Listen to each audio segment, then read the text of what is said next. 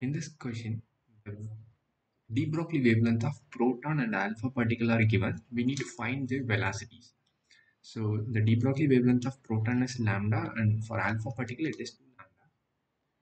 And we know that mass of proton, mp, mass of alpha particle will be 4 times of mass of proton. So m alpha we can write it as 4 times of mp and we need to find this ratio between velocity of proton and velocity of alpha particle.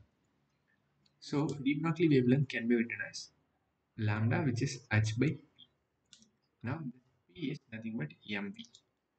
So de Broglie wavelength of proton de Broglie wavelength of alpha particle can be written as h by m proton v proton divided by h by m alpha v alpha.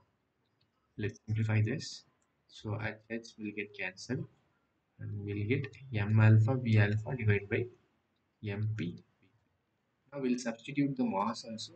Mass of alpha particle is 4 times of mass of proton and so 4 mp by v alpha equal to mp by vp. So this mp mp gets cancelled and we'll substitute this left hand side also.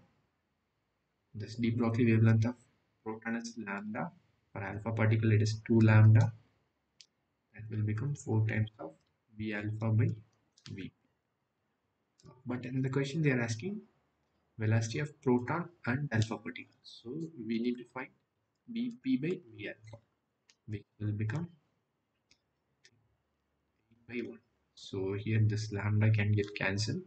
If you rearrange you'll get 8 by 1 which is 8 so fourth option is the correct answer